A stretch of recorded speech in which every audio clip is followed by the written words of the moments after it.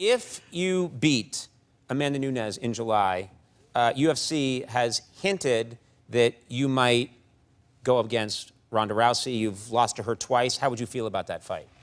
Well, right now I'm trying to really stay focused on Amanda, and I know Right. everyone's so excited for that Rousey fight. I hope that's something that happens, but I don't want to overlook Amanda because if I don't beat Amanda, there is no, you know, there's no next. Um, granted, I go out there and do that. Um, you know, I feel like I'm in a really good spot. I'm at the top of the world, and I feel crazy possessive over that thing. Right. that's my baby. I'm going to protect it. Right. So having that now, you feel like it would affect your next fight with Ronda Rousey, no matter what's like the past is the past Well, kind I'm, of thing. I'm at the best point of my career, and she's at the worst.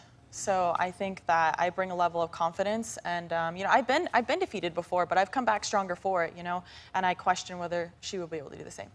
You're not sure she's going to be coming back.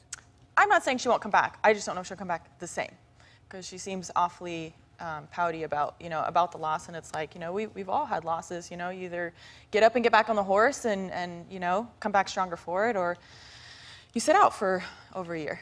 Right. Right.